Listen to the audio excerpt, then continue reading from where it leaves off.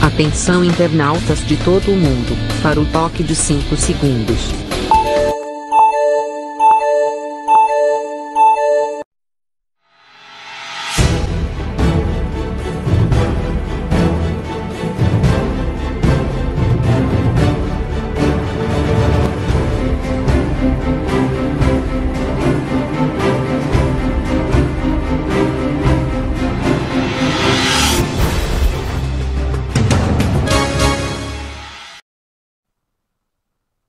Alô, gente amiga, começando mais um programa Sérgio Cruz aqui pela viramorena.com, pelo canal do b.com.br,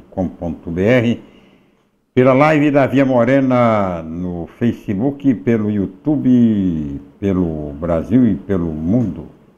O... Dois assuntos locais de enorme repercussão hoje em Campo Grande e no Estado.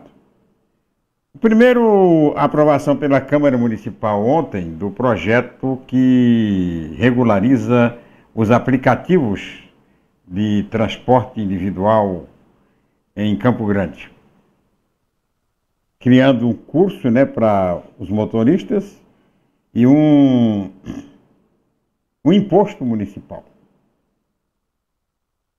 São duas providências que é claro, tem uma série de outras medidas que a Câmara aprovou, algumas até sem a menor necessidade, como essa da, da empresa ter uma filial em Campo Grande. Não sei até que ponto as empresas vão, vão implementar né, uma, uma, uma agência em cada cidade onde tiver o aplicativo, porque termina, termina encarecendo, né? Porque todos esses custos terminam sendo repassados para, para o passageiro. E a ideia do, do aplicativo é exatamente ter um custo menor para massificar o transporte individual. Foi aprovado, a Câmara aprovou, tem, por exemplo, o imposto tem como ser cobrado. Não há dificuldade nenhuma de se cobrar imposto municipal. É só é, exigir a expedição de nota fiscal. E nota fiscal caiu lá, não tem nota fiscal fria, né? É, online, você, nota fiscal. Como, por exemplo, a, a,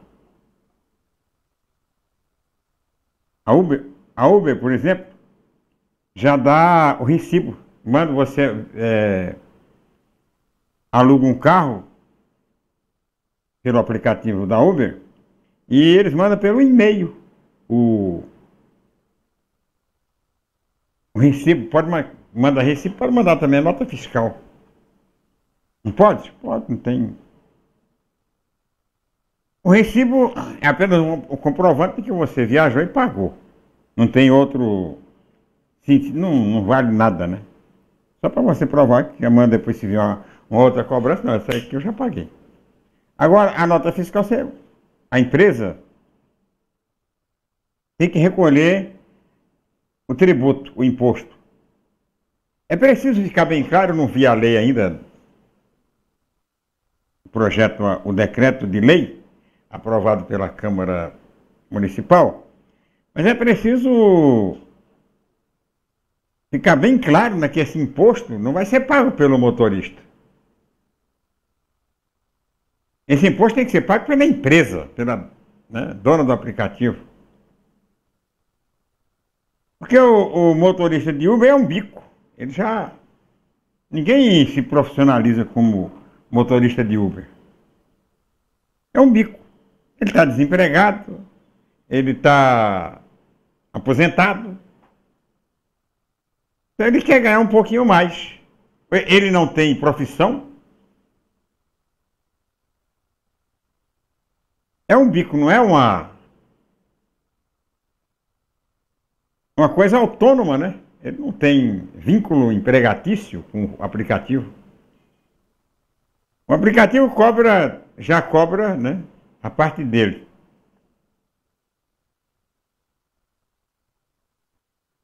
O motorista fica apenas com o líquido, que é pouco. Se não trabalhar muito, se não tiver muita corrida, termina tomando prejuízo. Porque a gasolina é cara, porque lugar, a manutenção do carro é cara, quando não é um carro alugado, mesmo quando é um carro alugado tem manutenção, porque a empresa que aluga carro não dá manutenção. Então fica caro, se você ainda joga imposto por cima disso aí. Curso não, curso eu acho que.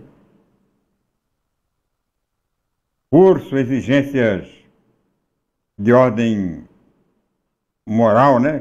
Criminal tal. Tudo isso tem que haver mesmo.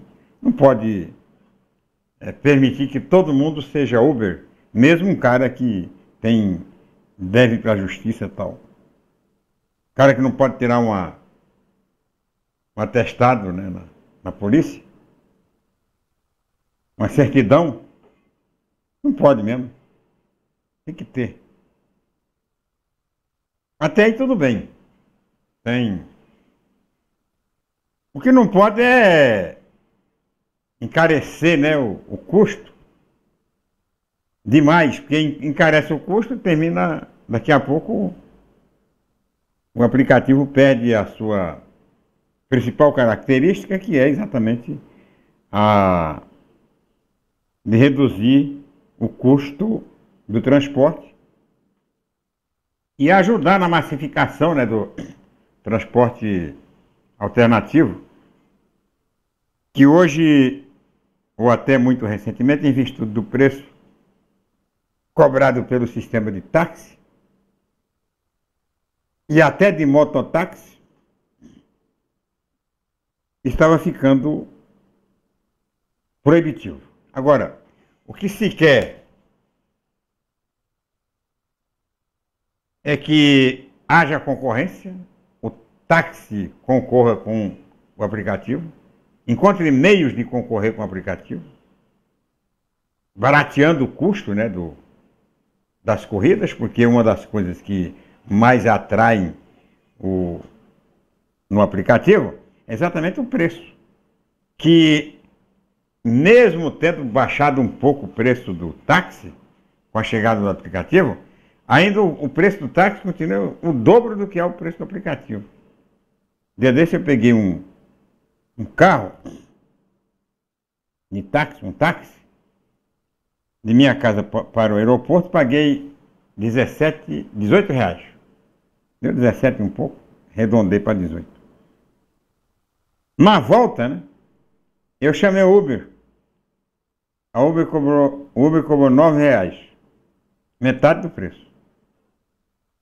Então, tem que haver a concorrência, porque também se, a hora, se o táxi acaba, né? Acaba o táxi e vira tudo aplicativo, aí ninguém vai aguentar também. Aí o pessoal, né? Vira um monopólio, todo mundo cobra mais aumenta quando quer.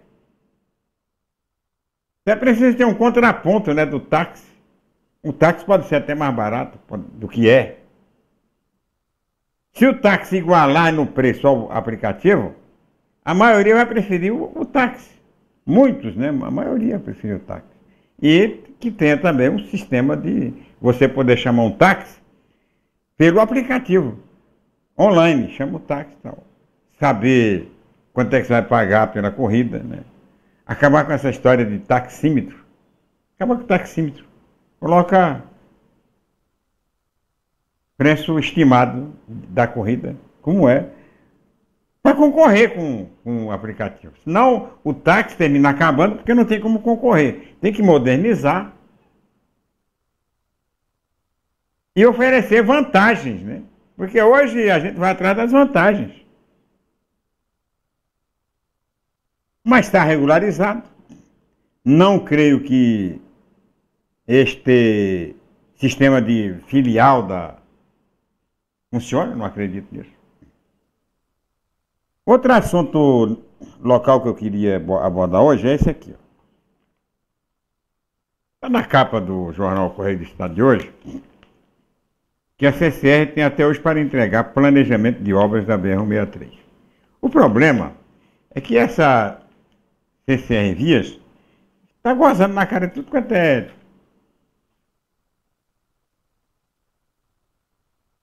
pessoa aqui no estado de Mato Grosso do Sul. Tá nem aí. Não manda relatório, não paga multa. Eu falei agora há pouco num live aqui na. em que devo falar também a meio-dia, né? Na difusora. Esse, essa questão histórica, né? Do, do transporte terrestre em Mato Grosso do Sul. E fiz uma comparação de obras que eram feitas antigamente e obras que são feitas hoje. Quer dizer, a gente está andando para trás em matéria de tempo, de, de, até de qualidade de obra. Obras que eram feitas no passado com muito mais dificuldade, eram feitas com muito mais rapidez e com muito mais qualidade do que as obras de hoje. E citei como exemplo a Estrada de Ferro Noroeste do Brasil. A Estrada de Ferro Noroeste do Brasil começou em Bauru em 1905, ainda com um projeto que demandava para Cuiabá. Em 1907, com a mudança do projeto para Corumbá, aí incluindo Campo Grande, Campo Grande estava fora desse mesmo projeto. Em 1907, começou uma frente de trabalho em Porto Esperança, quer dizer, 1905, dois anos antes, começou a obra em Bauru. 1907 começou a obra em Porto Esperança. Quer dizer, a obra da Noroeste começou em 1905. Em 1914, as frentes de trabalho de Porto Esperança e Bauru se encontraram em Campo Grande. Em nove anos, a Noroeste estava pronta. E como é que era feito estrada naquele tempo? Não tinha trator, não tinha motoniveladora, não tinha nenhum, não tinha motor na época. O motor era tudo né? arroz com feijão. Tinha, não tinha motor, tinha máquina.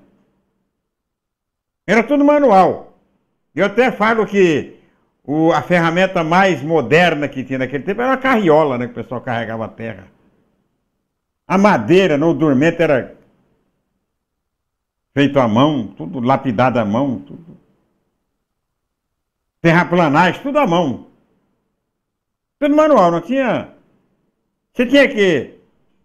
Nas matas, né? Tinha que enfrentar a reação de índios, dos índios, índios. Em alguns lugares não aceitavam, reagiam.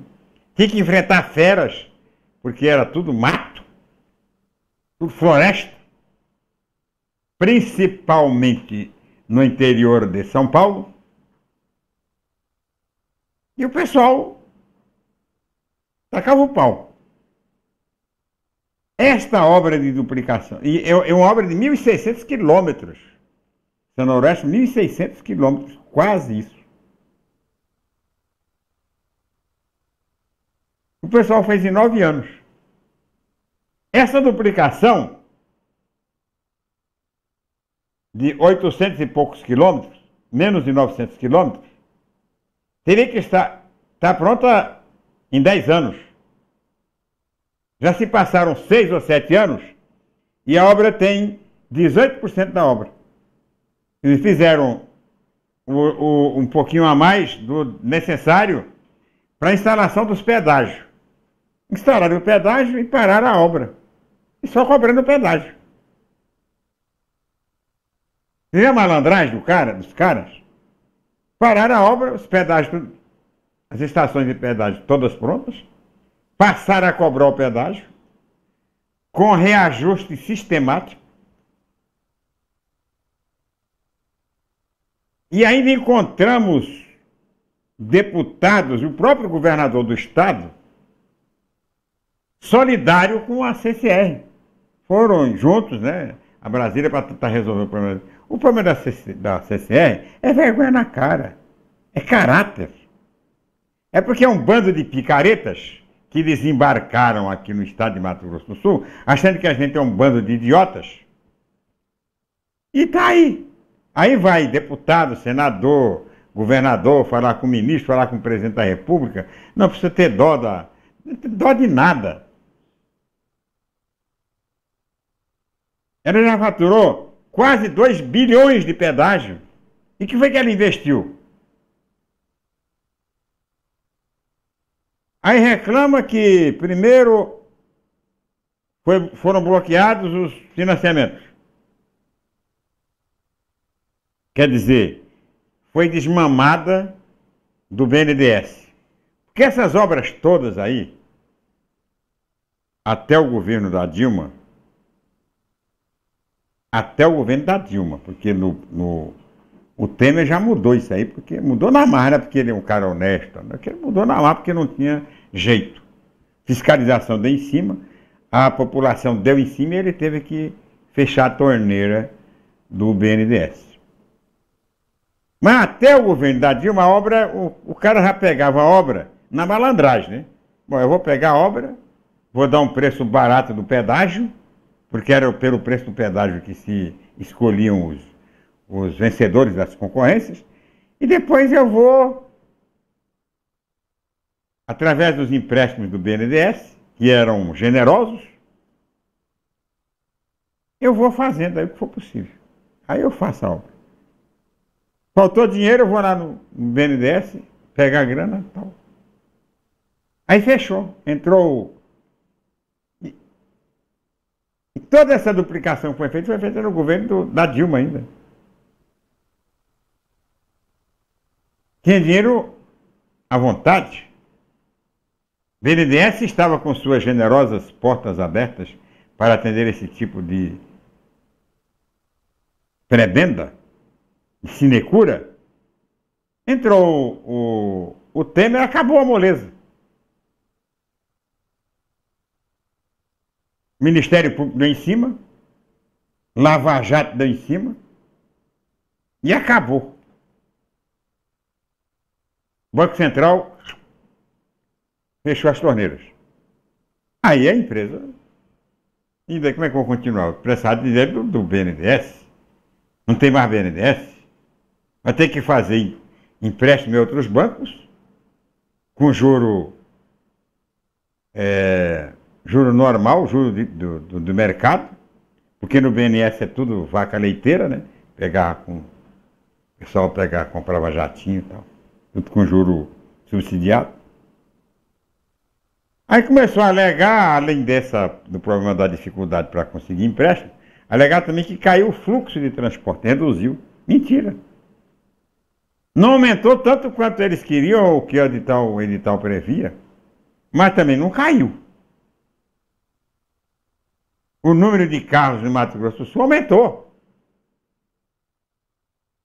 O número de carros em Dourados aumentou. Em, todo, em Campo Grande, todas as cidades aumentaram. Todos vêm para Campo Grande. E vem, maior parte do trânsito, vem pela BR-163. Conversa fiada. Agora eles ficam em cima, sentam em cima, não devolvem porque querem indenização. Indenização grossa, né? Porque lembrou bem o Guilherme Filho hoje, não há uma lei de deslicitação no Brasil. Tem que ter uma lei de deslicitação. Você pega uma, ganha uma concorrência, não cumpre, devolve. Devolve sem indenização, sem nada, tá aí, ó, não queremos mais. Abandonou a obra. Aqui no Mato Grosso do Sul, uma empresa que de uma concorrência para fazer um asfalto, agora já no governo do, do Azambuja, fazer um asfalto até do Anhanduí até Cidrolândia, passando pelo Capão Seco. A empresa não deu conta, abandonou a obra. É claro que o Estado não indenizou porque a obra foi abandonada. E também o Estado não, não, não completou, largou lá, tá lá. Agora é preciso que este governo que aí está, o governo do Bolsonaro, passe a adotar medidas mais rigorosas de repressão a esse tipo de comportamento empresarial. Atualizar as leis de licitação de modo a que o Estado não seja o único a tomar prejuízo, porque é só o Estado que toma prejuízo. É a população, é o Estado, é o povo que tem que pagar. Agora, eu vou ficar utilizando uma estrada, uma rodovia, que cobra pedágio e cobra caro, para não ter duplicação. Foi que adiantou. É o governo do Estado está tentando também privatizar e passar concessão para empresa privada de uma rodovia de Cacilândia, de Chapadão a Cacilândia, sei lá. Passando. Já saiu até a audiência pública. Que está aí na BR-163, quem tinha que fazer o, o DENIT.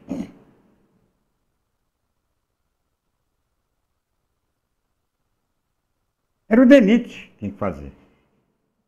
E a gente não tem que pagar nada. Por que não tem que pagar nada além do que já paga?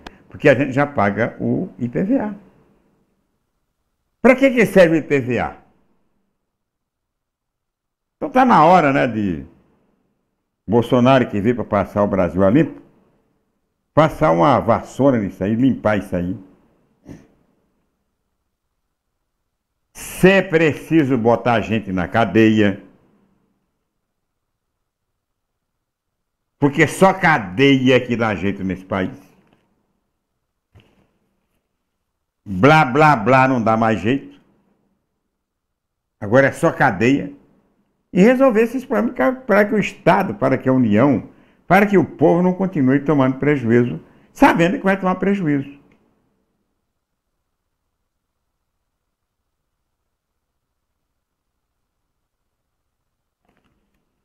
O presidente da República indicou ontem o novo procurador-geral da República. Estava fora da lista dos três escolhidos, o que não. O que não tem nada a ver, né? Até porque a, a Constituição não prevê isso, que tem que ser da lista tríplice.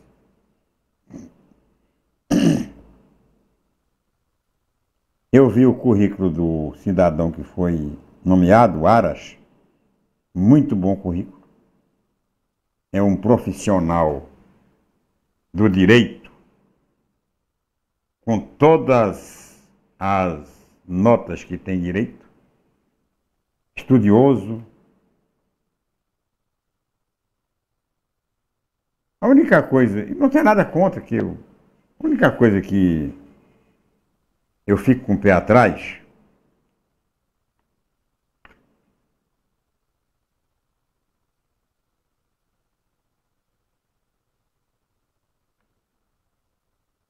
Eu fico com o pé atrás. Essas conversas né, que há vida entre o, o presidente e o indicado. Conversas que eu acho que são absolutamente normais, ele não conversou com um só, conversou com vários, mas ficou muito, muito suspeito e até uma certa claridade né, na, de que houve uma tentativa de aparelhamento do, do, da Procuradoria-Geral da República, quando o, presidente fala de uma série de, de, de afinidades com o Ministério com, a procurado, com o novo procurador. O que não é republicano, né? Pelo menos não é, pelo menos não é politicamente correto. Como o, o Bolsonaro é contra o politicamente correto, ele mudou o critério, inclusive, de avaliação. Mas ficou parecendo uma, um certo aparelhamento quando ele fala, não, não vai ser um, xi, um ambientalista xiita, não vai ser isso, não vai ser aquilo. Quer dizer, então, dá a impressão que foi combinado. Olha, isso você não pode fazer. Não faça assim, tal. A impressão que eu tive quando eu vi o presidente da República falar sobre a nomeação, antecedendo inclusive a própria indicação naquelas entrevistas que ele, naqueles monólogos que ele faz ali na saída do Palácio do Alvorada, foi o que eu entendi. Que pode haver um aparelhamento na Procuradoria-Geral da República. É claro que este procurador, apesar de todos os méritos que tem, não tem é, liderança junto aos, aos colegas, junto aos procuradores. É um técnico, né? Que tem pontos de vistas ideológicos que combinam com o presidente da República, mas não tem liderança. Por outro lado, esta mudança de critério do presidente da República vai contra a República dos Procuradores. Porque a Constituição de 1988 deu muito, muita força para os procuradores. Procurador, a Procuradoria deixou de ser uma instituição. Instituição é o procurador. Então, de uma certa forma, o presidente Bolsonaro quis dar um equilíbrio, né? Vamos acabar com essa república aí e tal. Vamos centralizar mais essas ações. Mais ou menos isso. Agora, o que eu senti foi um forte odor de aparelhamento da PGR. Não sei se é a, se é a opinião do pessoal do Bolsonaro, de quem é contra o Bolsonaro. Foi minha opinião. Eu não li ainda né, nenhuma. Não tive tempo de ver hoje na, nas redes sociais. Ninguém fazendo manifestação sobre, sobre essa nomeação.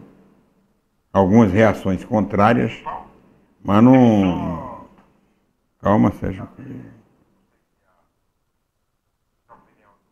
Reduz aqui. Aí o. Não, eu que estava. Tentei abrir um trem aqui, abriu errado aqui. Porque me pareceu, eu não vi ainda. E gostaria de ter a opinião de todo mundo, principalmente do pessoal do Bolsonaro e do, do pessoal do contra e do pessoal do a favor. E do pessoal do centro, né? O que, que acha da nomeação do no, da indicação do novo Procurador-Geral da República. Dizem aqui, eu estou vendo aqui algumas manifestações nos sites, de que a, os procuradores não gostaram do negócio. Procuradores estão putos da vida porque acham que foram desmerecidos porque haviam escolhido três, né, a lista tríplice, e o presidente terminou escolhendo um que não tinha nada a ver. Havia entre os bolsonaristas mais exigentes uma até uma campanha, né, para que fosse nomeado o Deltan Dallagnol da Lava Jato para procuradoria.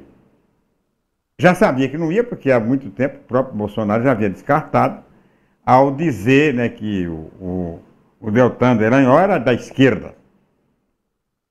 Então não, não tinha a menor chance. Da esquerda não tem a menor chance. Então não vai ser ele, o cara.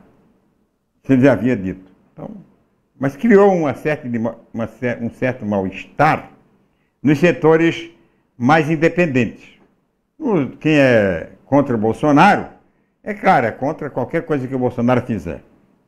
Agora, quem é bem Bolsonaro, concorda com tudo que o Bolsonaro faz. Então esse pessoal não, não, não dá para contar muito né, na, na, na variação geral aqui, não dá para contar. Mas eu quero ouvir a opinião de todo mundo. Você pode utilizar o espaço aí da, da, do Facebook e mandar a sua crítica, né, a sua opinião, a sua posição, que a gente vai bater papo aqui, discutir sobre este assunto que interessa muito, muito. Eu quero, vou falar daqui a pouco sobre a militarização das escolas proposta pelo presidente Jair Bolsonaro depois do tempo em Brasília e no Mato Grosso do Sul.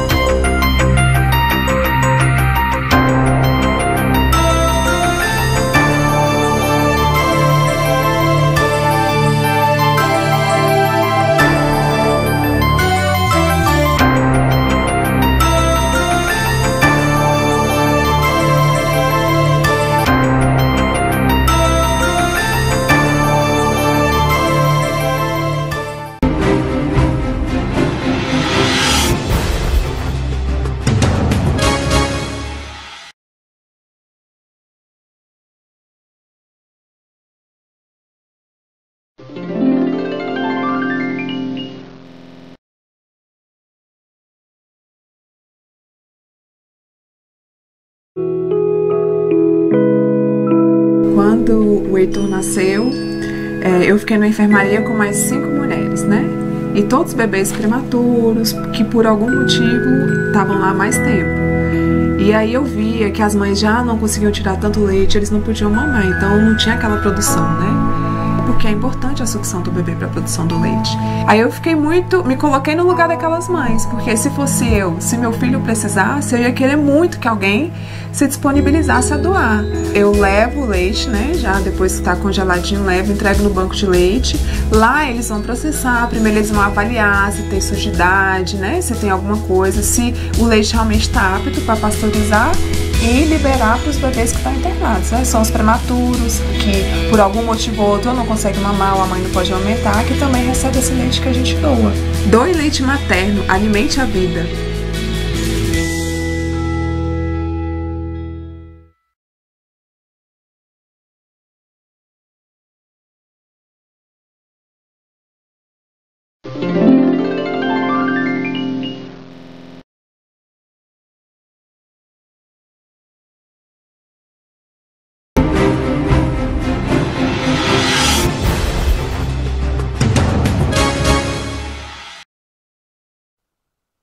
Voltando com o programa Sérgio Cruz aqui pela viamorena.com, o presidente Bolsonaro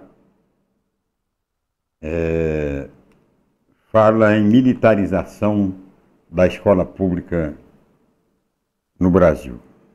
Fazer na escola pública um modelo que já está sendo utilizado experimentalmente pelo governo de Brasília, o governo estadual, governo distrital de Brasília, e em algumas escolas estão militarizadas,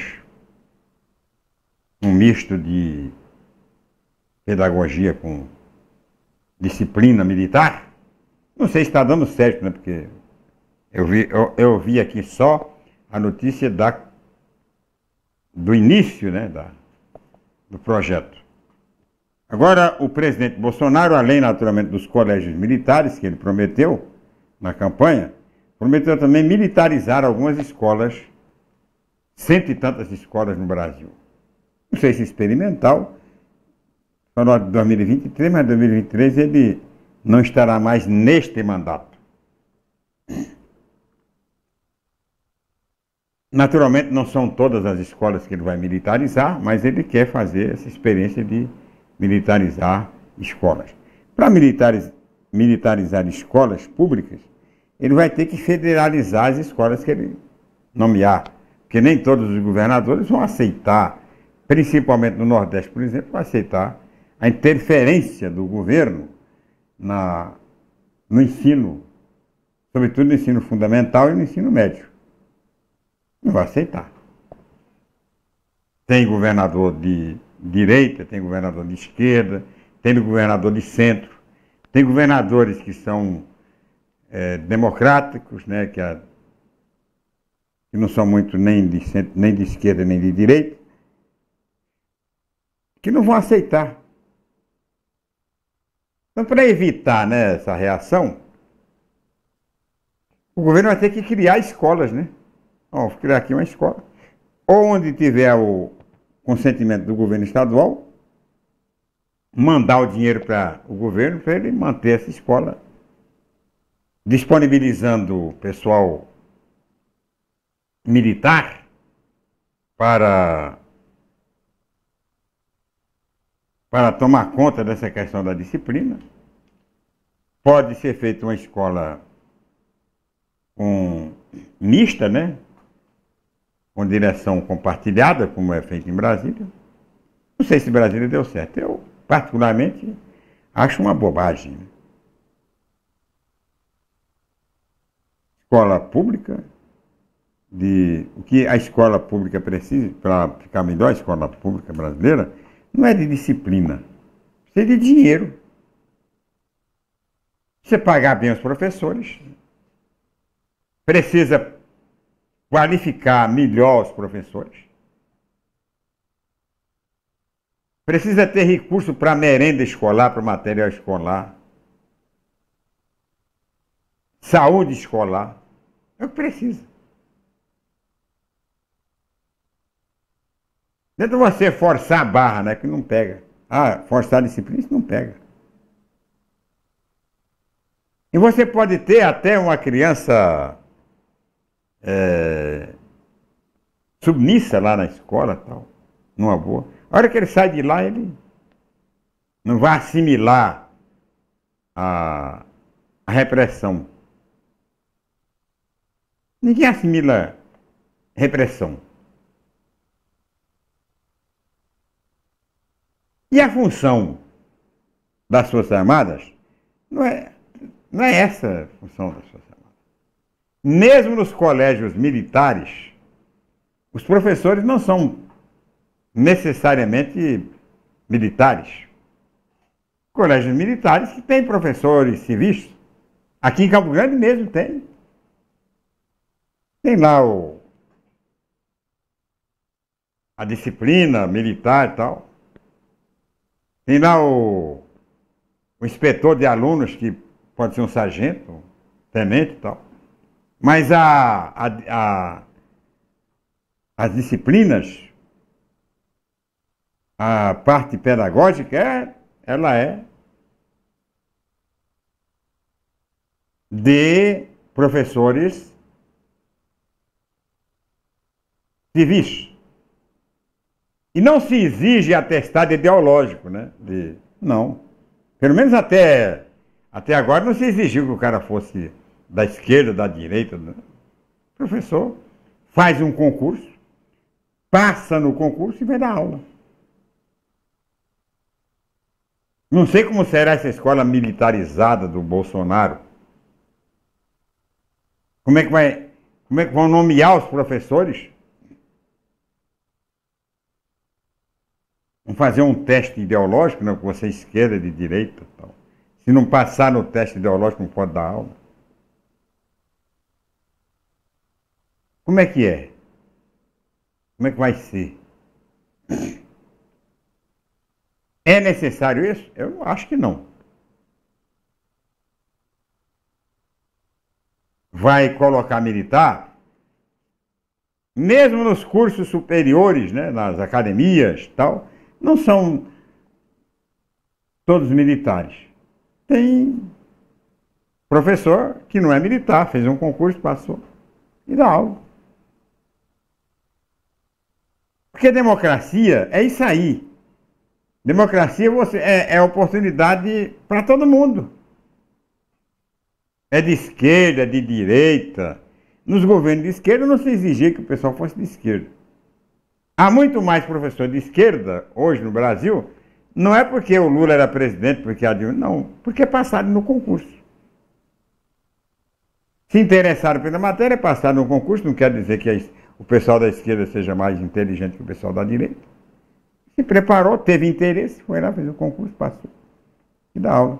Não me lembro de alguma resistência a professor de direita no governo da esquerda. Conheço inúmeros, mas muitos professores de direita que dão aula na Universidade Federal, que dão aula na Universidade Federal Grande Dourados, que dão aula na Universidade Estadual de Mato Grosso do Sul, que são de direito. Assumidamente de direito que tomaram, que começaram a trabalhar no tempo do Wilson Barbosa Martins, que já estão aposentando. Tempo do Zeca do PT, que era de esquerda.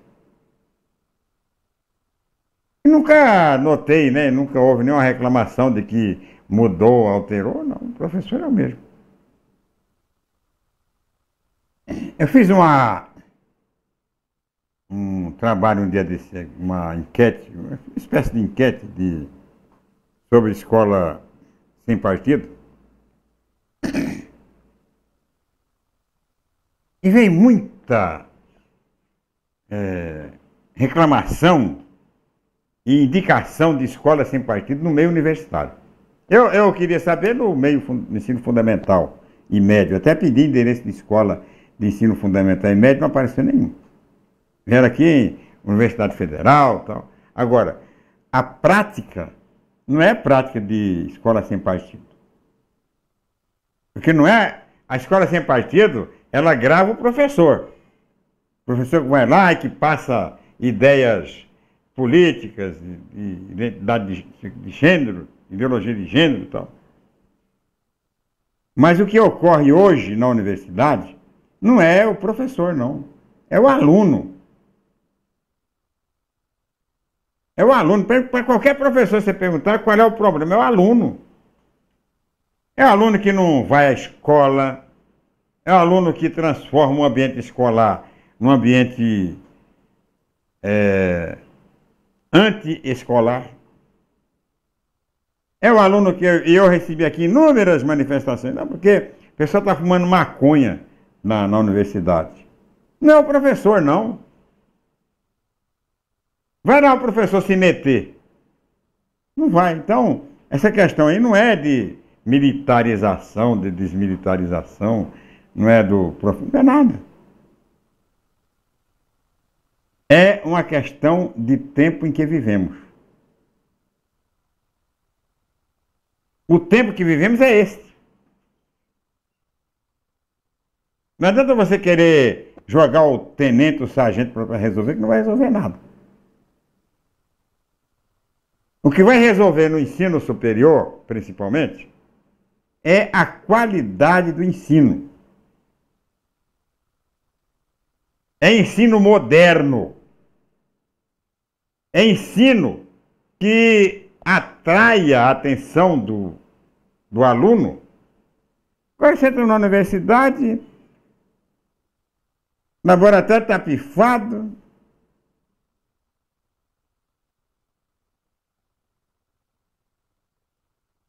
O professor não vai dar aula porque está em greve, por questão salarial. E ninguém entra em greve por outra questão, é só salarial.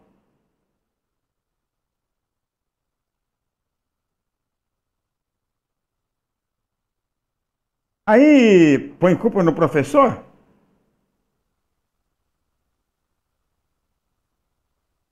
Então não é, é, não é o professor, é o aluno.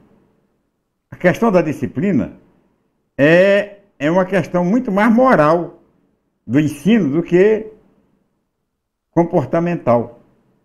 Comportamento é originário da falta de uma atividade mais dinâmica na escola. Que não é dada pelo professor, que não é dada pelo aluno, mas sim pela direção da escola, pelo governo. Não pode faltar recurso para pesquisa, principalmente para pesquisa. Vai faltar recurso. Então não tem. O cara vai estudar, chega na sala de aula, o professor não aparece, porque o professor está em greve. Chega no laboratório para fazer os experimentos, está pifado o equipamento. Não pode fazer. O que, que ele vai fazer? Vai fumar maconha. Vai fazer aquilo que está ao alcance dele.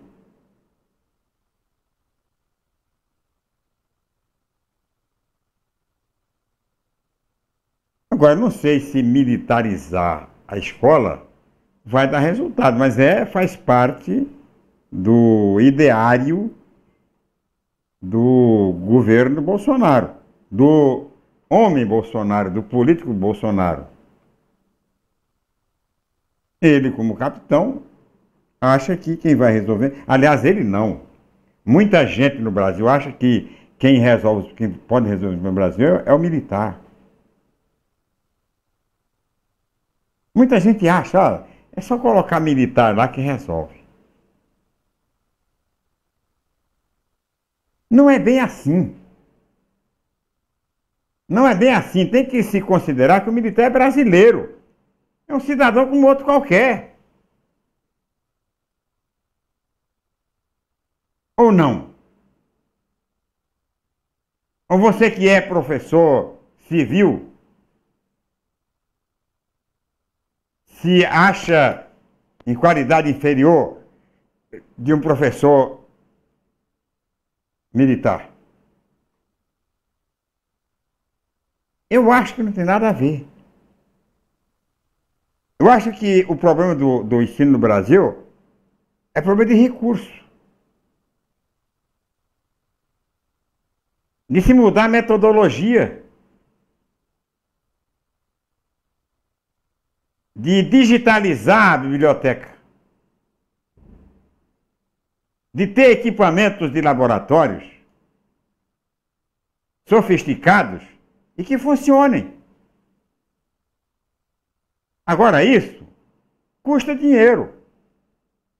E não vai ser feito num país que contingencia 30% dos recursos da educação. Não adianta botar militar, o que botar lá vai ser a mesma coisa. Se não tiver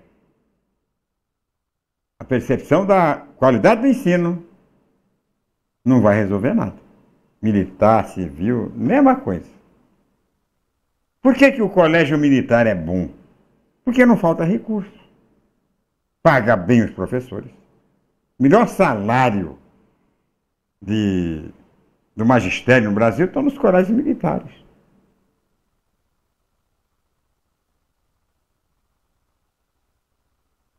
Um aluno do colégio militar é, tem toda assistência. É um ensino privilegiado.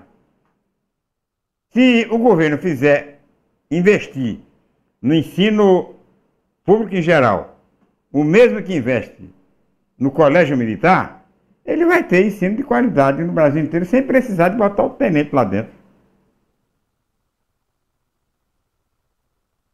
Sem precisar de forçar a barra para criar uma situação, porque não vai conseguir.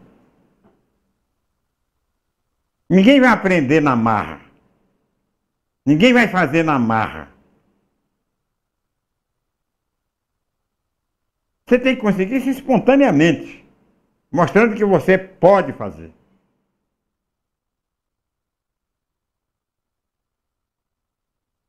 Porque aluno de escola não é bandido, não.